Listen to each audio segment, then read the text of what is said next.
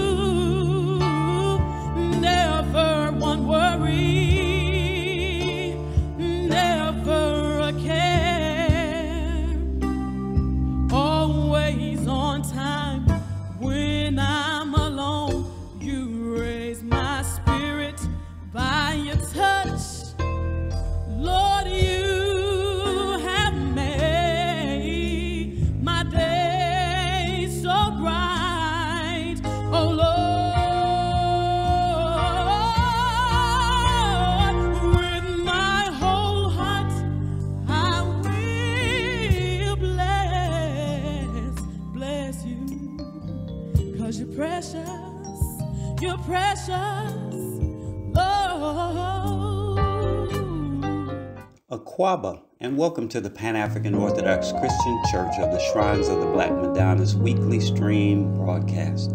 I'm Pastor Mbayu Chui from the Mother Shrine here in Detroit. And on behalf of our virtual village, which includes Detroit, Atlanta, Houston, Beulah Land at Calhoun Falls, South Carolina, and Monrovia and Ganta City, Liberia, West Africa, we appreciate you joining us. And we ask that you don't forget to donate, like, comment, and share all of our online content with other like minded souls in order to help us build a united Pan African world community. Asante Sana, we're glad you're here. Our goal is to be the church of the future. The 21st century mystery temple. A place where the church is a tool for human development, human growth and evolution, the recovery of black people's humanity and dignity, and a power center for black self-determination.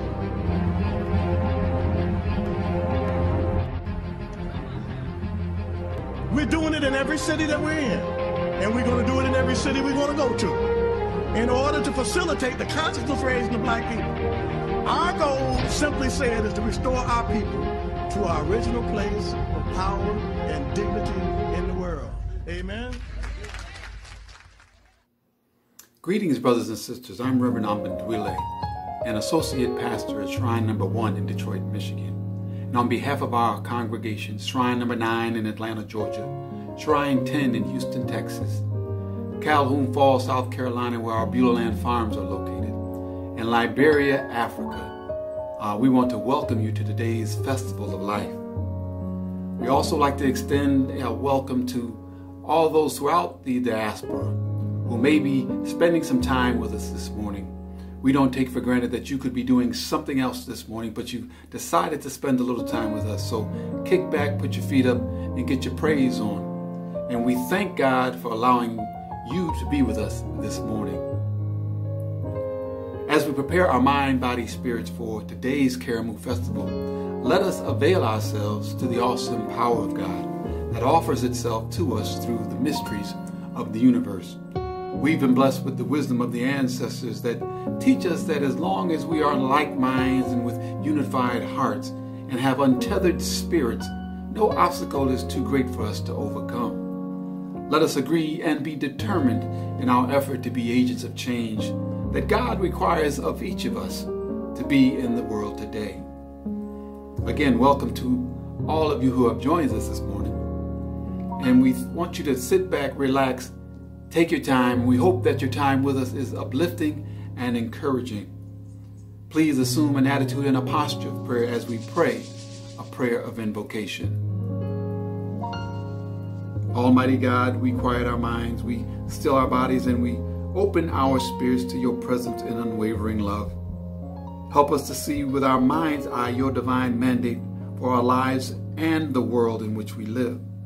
Allow this celebration of life through and with you to grant the needed salve to heal any and all wounded spirits. O cosmic creator, we hope this worship experience exalts your majestic presence in our lives. And we pray our attention to your will and way empowers us to be more Christ like upon our earthly journey. O God of our ancestors, we know there is none like you, and we pray that you would tarry a while with us this day. Be in our intent, be in the message, be a fence around us every day. We cast this prayer along the unified energy vibration and trust you have heard or hear our plea. We let go and pray our expressions of praise and worship. Lift your glorious virtues to life. We pray this in all prayers in the name of our standard bearer and revolutionary example, Jesus, the Black Messiah. Ashe and Amen.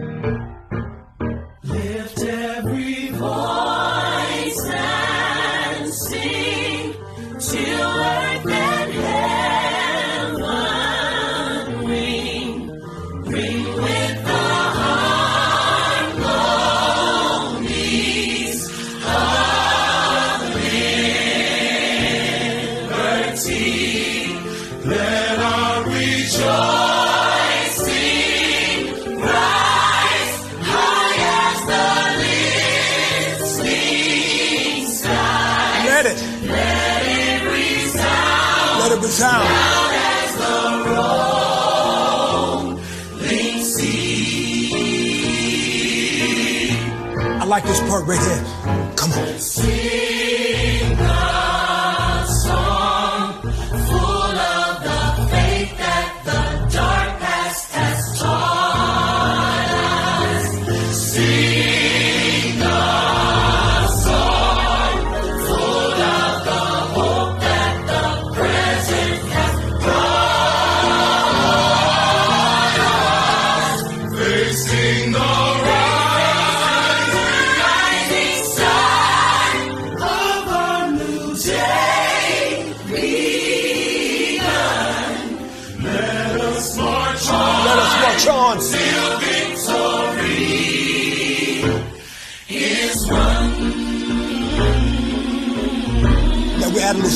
It. Just encourage you. We're to take you to church later. Let's go! We'll keep marching right until the victory is won. All my brothers out there. Hold your head up, brother, till the victory is won.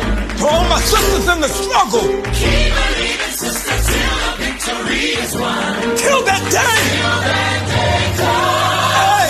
Let us march on. To victory.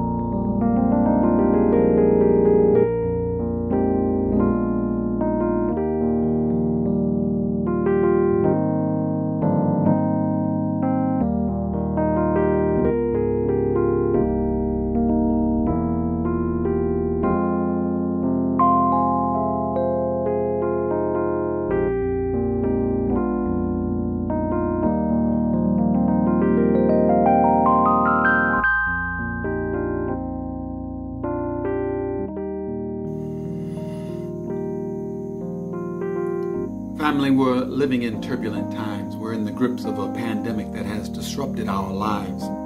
It has upended our routines and rearranged our schedules. Caught in the middle of this health crisis is a generation forced to juggle their aspirations, education, and careers with the uncertainty of where to go next and led by incapable leadership. Our pastoral prayer is for those caught in limbo, held hostage by political pundits and unqualified policymakers. We pray for this year's group of scholars, this new generation of students who would be ordinarily preparing to move forward in their quest for higher learning and education, but have been sidetracked by a bigger plan and unfortunately by human inadequacy. They're stuck by others' short sightedness and lack of leadership. If you would, pray with me.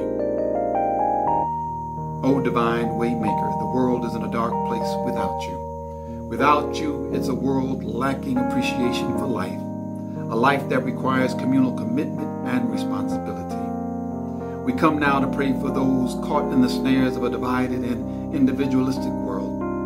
We pray for tomorrow's leaders and future decision makers, those perceived to be voiceless and those teething on making life's difficult and hard choices. We forget they are the ones who will inherit our lack of action and indecisiveness. So we pray for a new year of learning, a new class of scholars.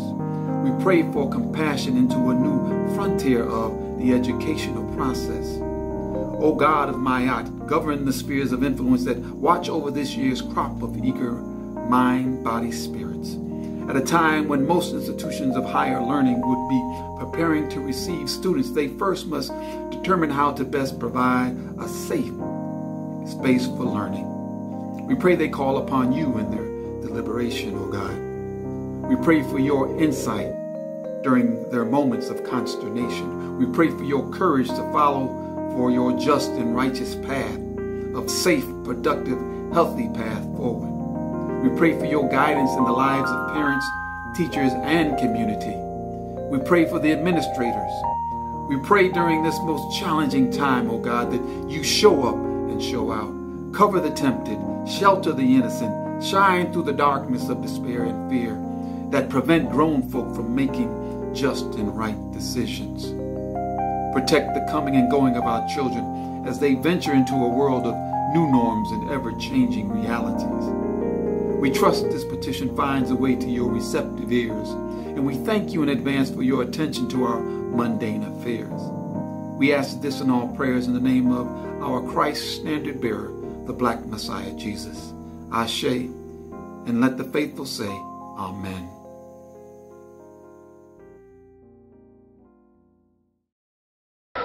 Well, I believe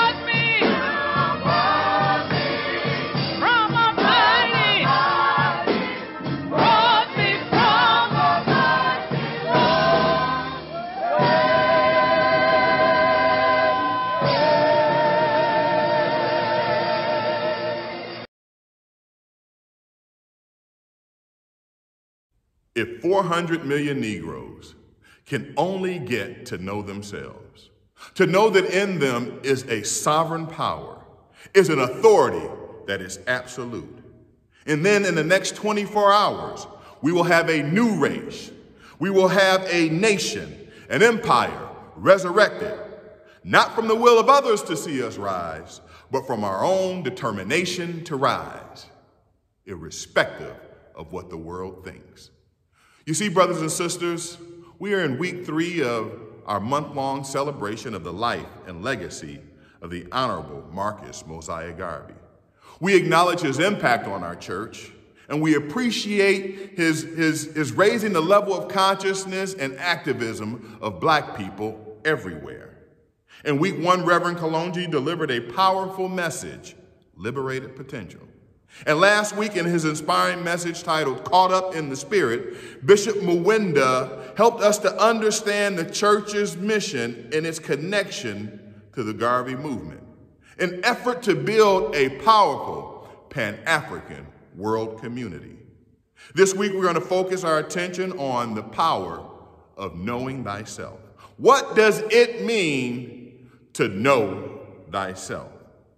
Let us now turn our attention to the scripture uh, in the book of Proverbs, chapter 14, verse 8, and it reads The wisdom of the prudent is to understand his way, but the folly of fools is deceit. The book of Proverbs, according to biblical scholars, is, is largely linked to King Solomon, who during his rule was in pursuit of greater wisdom and understanding of the world. He looked to tap into wisdom and use it to make good decisions and establish a moral law that is grounded in both spirituality and in faith. The African nation Israel saw wisdom as an attribute of God, and because of their fear of God, and we're not talking about fear in the sense of terror, but fear in the sense of a healthy reverence for God. It was because of their fear of God that they sought to understand God's definition of good and evil.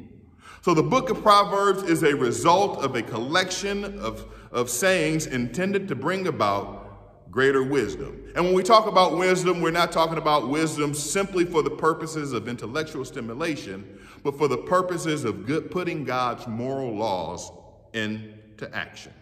And so because Proverbs consist of these clever little statements, it requires for us, it requires us to unpack the scripture this morning.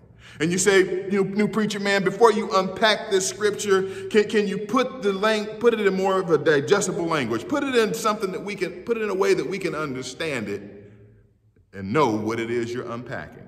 And so if I were a baby boom and I were rewriting this scripture, I would say, y'all better keep it tight and to the right. Otherwise, they'll run con game on you. Being a Generation X, I might, I would say, keep it real or you'll get game. Now, if I were a millennial, I might write the verse to say, keep it 100. Otherwise, you'll get got or they'll run or you'll fall prey to the alternative facts and fake news. But we stand here today as black Christian nationalists, and so we interpret the scripture from this vantage point. Every child born to a black Madonna is a new black Messiah, only waiting to discover their inner divinity. And on the flip side of that scripture, we, we would put it this way we would say, otherwise, you're accepting the false declaration of black inferiority. And so today, as we explore this subject, we will explore it this way. When they define us versus when we define us. Now you ask, well, who is the they and what power do they think they have to define us?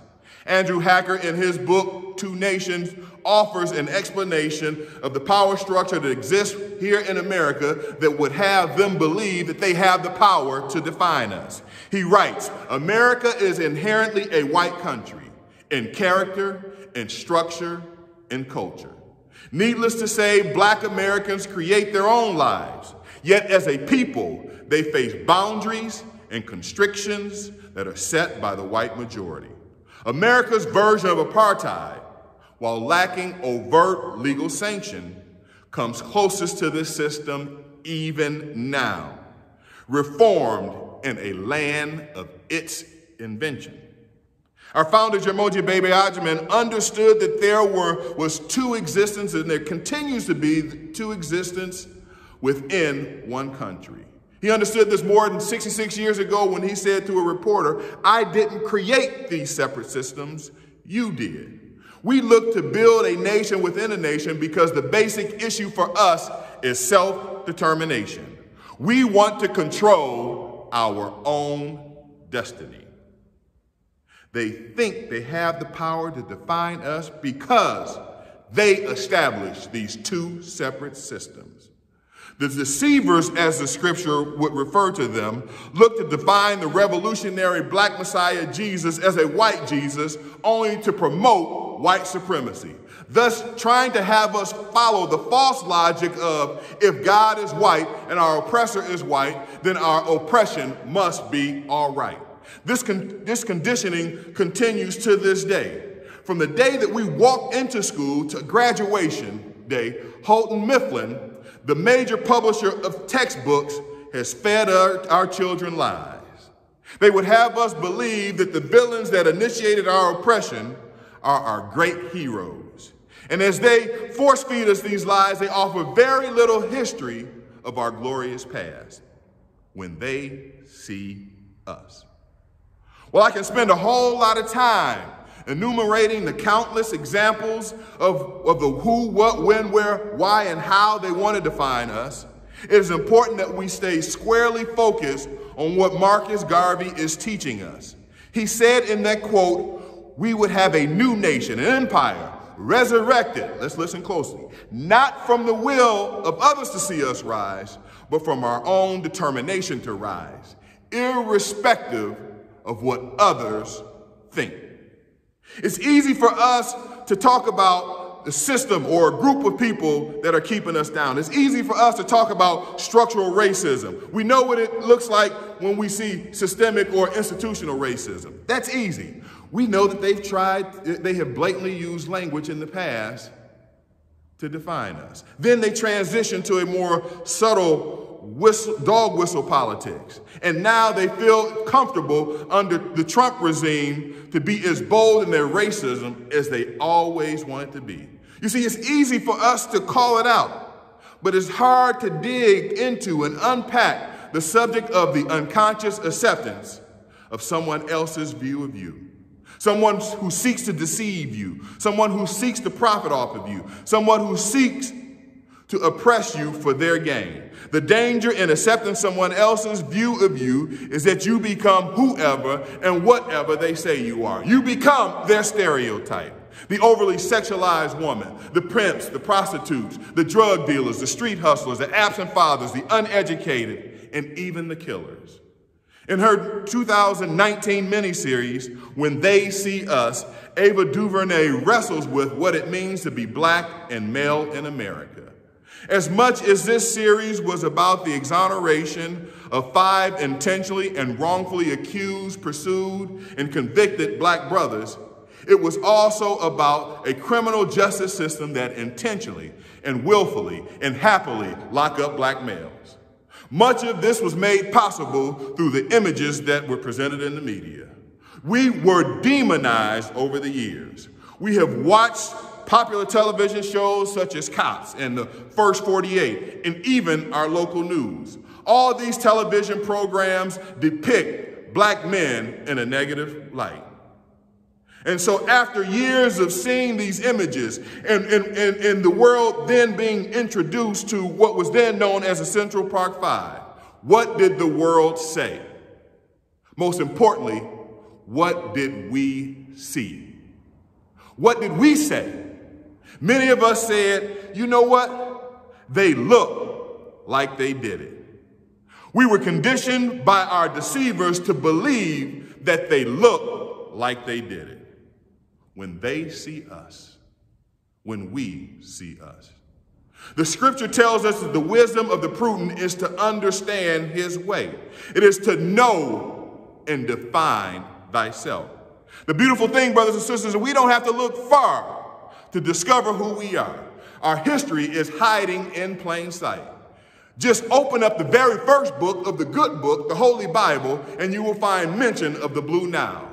The Blue Nile flows from Ethiopia to Sudan. It is the birthplace of all life and all resources that preserve life. Science and the Bible are in agreement on this subject as the first black man was discovered in Africa. The first man was an African man. And the Bible tells us that on the sixth day, God created man and woman in his own image. And he stepped back and looked at all that he created and he said, That is very good.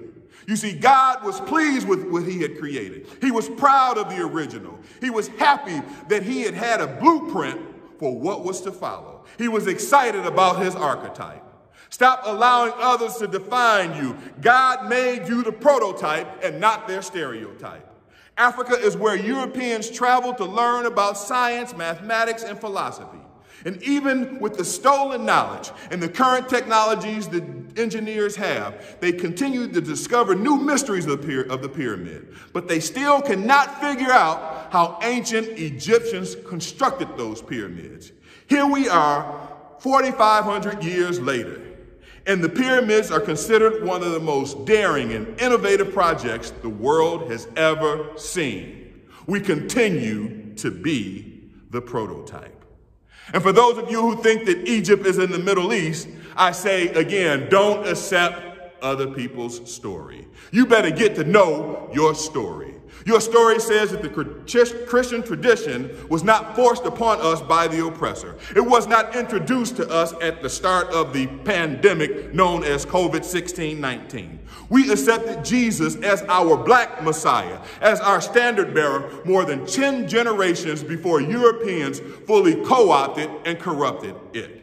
Ethiopians were followers of Christ before white men had refashioned the Messiah in an image that suited their desires. It is important for us to be clear about who we are as our survival depends on us telling our story.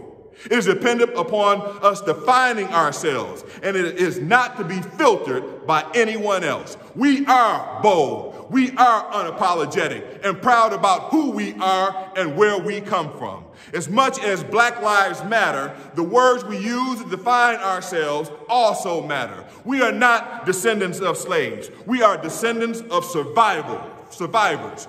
We not only withstood the greatest atrocity in human history, we stand strong today, 400 million strong. We must stop accepting other people's narratives. In a bit less than 80 days, we have an important election. And as we say every election year, this is the most important election in our lives. And as much as that might sound cliche, I must restate this is the most important election in our lives. You see, last election cycle, we were deceived. We thought when Trump said, just grab a woman by her private parts, that he would lose the white evangelical votes. We thought that he would especially lose white women. We thought because he was so arrogant as a billionaire, he would turn off poor and middle class white voters. And then we were confused. We were confounded. We were baffled when he won. We asked the question how could they vote against their own interests? Well, in, their, in her book, Caste The Lies That Divide Us, Writer Isabel Wilkerson wrestles with this. She examines three of the world's most rigid, rigid caste systems Nazi Germany, India, and the good old US of A. And she offers a different perspective with respect to the election. She suggests that white people who voted for Trump were, in fact, voting in their own interests. You see, as the demographics of this country are rapidly changing, whereby the United States is becoming a more colorful place, white folks are feeling like their power is slipping away.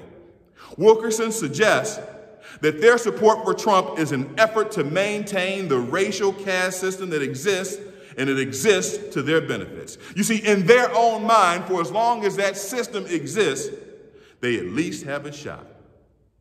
They believe maintaining the system was more important than their religious interests. It was more important than their moral righteousness. It was even more important than their financial well being. You see, in 2016, they were voting in their own interest. They were voting to hold on to a system that was built by them, for them, and that was paramount. It trumped all other issues.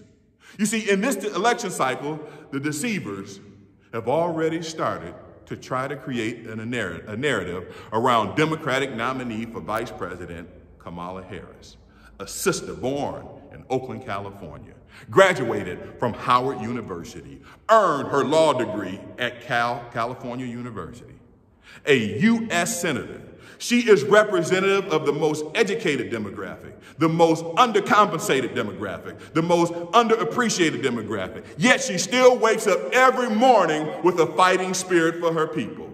They will try to say choosing an African American woman is a token gesture, a knee jerk reaction to the response of the police murdering of George Floyd and Breonna Taylor. And by the way, the murderers of Breonna Taylor are still at, large. They will try to paint the senator as an angry black woman. They will try to appeal to the deeply rooted white power, chauvinistic seeds that exist, they will ask the question, do you really want her to replace Biden if he's unable to serve as president? She has them running scared, brothers and sisters. They decide to pull out all the stops. Trump has already called her nasty. He's already made these subtle digs, well, shall I say, not so subtle digs, by pulling the race card, stating that I'm not so sure the suburban white women will vote for Senator Harris. They are trying to breathe new life into the trumped up birther movement. And they're even trying to cripple the post office to suppress votes. You see, they will also look for us to tear us down, tear her down. You know, we, she ain't black enough. She ain't, ain't, ain't dark enough. She ain't progressive enough. Well, let's not play into their hands, brothers and sisters. Yes, she will have to address her record on criminal justice. But I will say that he has a reason to be scared. So let's talk about how she prosecuted Donald Trump's appointments during the confirmation hearings. Let's talk about during the Senate hearings how she aggressively went after Attorney General William Barr. She questioned him to a point where he tapped out under the pressure. And I can't wait to litigate for her to litigate her case before the American people and go after 45 and Mike Pence's policies. You see, brothers and sisters, we cannot leave anything to chance in this election cycle. We must create a new narrative during this cycle and transform our thinking politically. It's time for us to establish a black agenda for America and galvanize 44 million Africans here in America around the issues that are important to our community, and then force the establishment to respond to us. If 400 million Negroes can only get to know themselves, to know that in them is a sovereign power, is an authority that is absolute. Then in the next 24 hours, we will have a new race, a new nation, an empire resurrected, not from the will of others to see us rise, but from our own determination to rise, irrespective of what the world thinks. Know thyself and be active participants in the rebuilding of our community and a black nation. Know thyself, and let's restructure a curriculum that tells our story to our children. Know thyself, and know that our people can take control of the natural resources of the motherland and the timber, the diamonds, the iron ore, and the gold. Let's get rid of the neo-colonial structures that exist to suppress our social, political, and economic advancements in the motherland. Know thyself and reclaim our Christian religion and follow in the footsteps of the revolutionary black Messiah. For God gave us a song that black people forever shall sing. So we reject the beautiful yet deceiving songs that have been given to us by the white slave masters. A song that will have you sleep through and perpetuate your own oppression. Know this, you know what song I'm talking about. I'm talking about the song that says, I'm going up yonder. Let's reject that song and sing the song sang by Brother Syke. Sing the song sang by Olawanza. Sing the song sang by Reverend Cheo and Marcus Garvey and Jaramogi Abebe Agyeman. It won't matter how they try to define us when 400 million of us wake up and know thyself. We will rebuild a black nation, black and strong. That is not the lyrics that I'm talking about, yet that is one song. The other song that I'm speaking to, we've given a P. Diddy style remix. We've reimagined the version of I'm Going Up Yonder. That song sounds a bit like this. Now, I can't sing it, but what I will do is ring it. If you want to know where I'm going, where I'm going soon. I'm going to the motherland. I'm going to Alkebulan. I'm going to the motherland to be free once again. Amen and Ashe. Amen. Amen. Thank you so much for that powerful sermon. It's always amazing to be able to hear a word from God into what we should be doing today. As we know here and what we believe in the Pan African Orthodox Christian Church, we are about building things, building programs, and putting what God wants us to do in this world into action. And that takes resources and it takes giving. And so I'm asking you to think about what it is that you can do to help make our programs a reality. And during the month of August, we think about Marcus Garvey and specifically what it means to build a Pan-African world. We have so much that we're doing right here in this country, in Atlanta, in Beulah Land, in Detroit, in Houston, and I want you to give there, but I also want you to particularly think about giving to our churches in Liberia and building the Pan-African world that we know we can build. Thank you so much. Brothers and sisters, we come now to the time where we act upon our practice of self determination, which sustains the many institutions of the Pan African Orthodox Christian Church. The shrines of Detroit, Atlanta, Houston, our cultural centers, the Beulah Land Farms Incorporated, PAOCC Liberia, all were built upon the sacrificial giving that makes cooperative economics more than just an ideal, but a dream realized.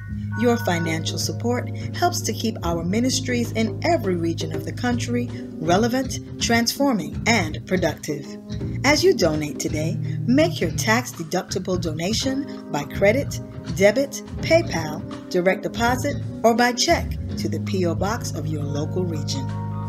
Thank you for your sacrificial giving, which reflects the self giving of our standard bearer, Jesus, the Black Messiah.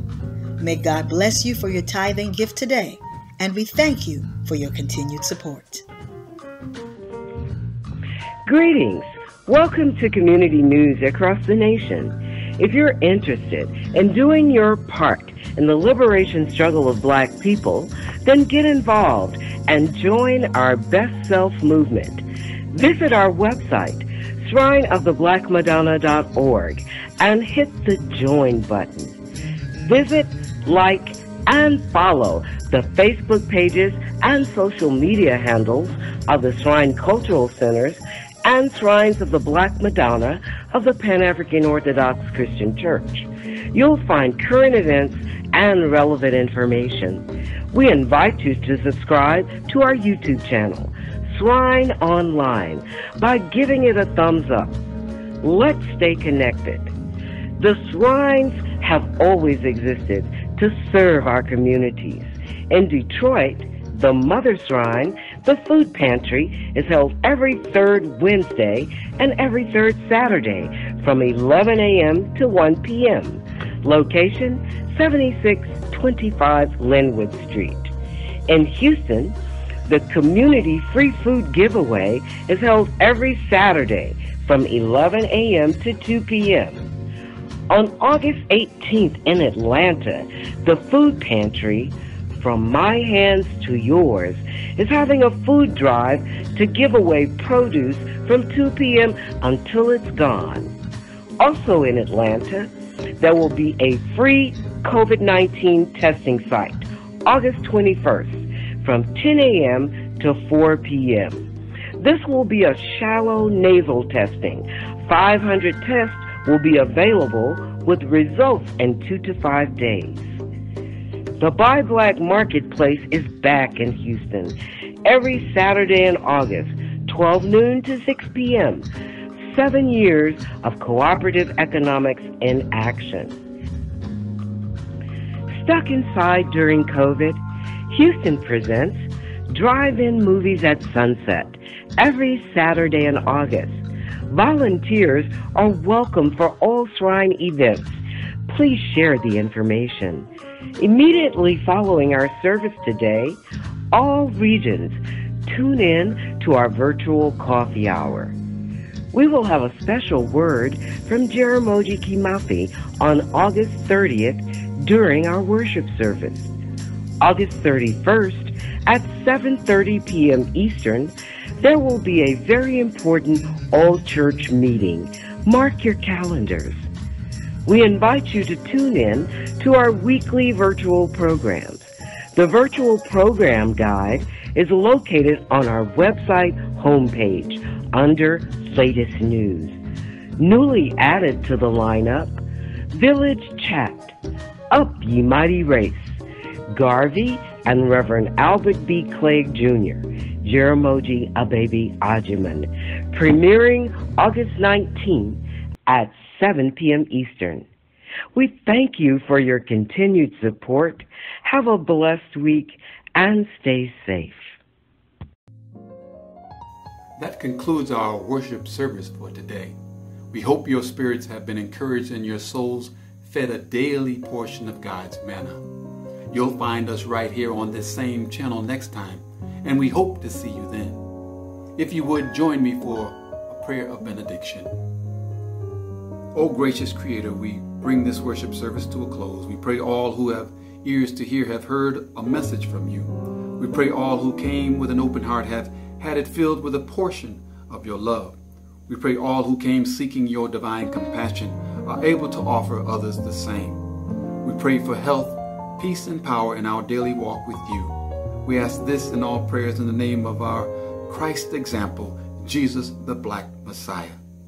Ashe and Amen.